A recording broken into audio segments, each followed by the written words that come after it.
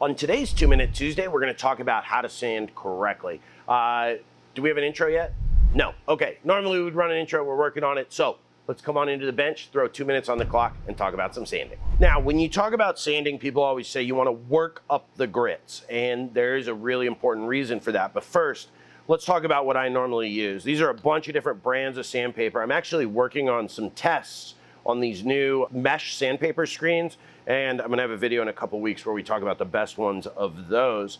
Um, these are some of the sandpapers I have, 60 through 320.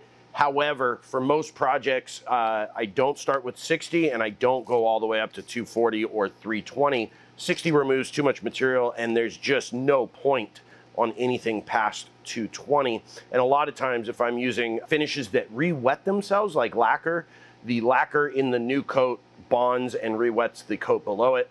Um, I won't even use 220. There is a very specific reason why you work through the grits.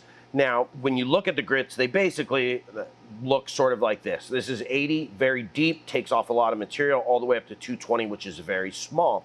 Um, and the reason you wouldn't just go from 80 to 220, let's say, is because the amount of time it's going to take to remove the scratches from the 80 with 220 is 20 times longer than it would be to just go 80, 120, 150, 180, and then 220 because the grit, the next grit up is going to have a much easier time removing the scratches. 80 is going to be the process that takes you the longest. Um, and as you go up the grits, it's going to go quicker and quicker. And the way that you can tell the speed and quickness which you should be going is you use a pencil. So with each grit, you're gonna put new pencil. I suggest using a 0.5 millimeter. Sometimes the thicker pencils will, the graphite will sort of break apart and stain your wood. So I use a 0.5 pencil and I just put pencil on my piece. And when you sand, you wanna go about an inch a second. So I count in my head, I go one 1,000, two 1,000, three 1,000, and you just go until you remove the pencil. You don't go back over areas with no pencil on it.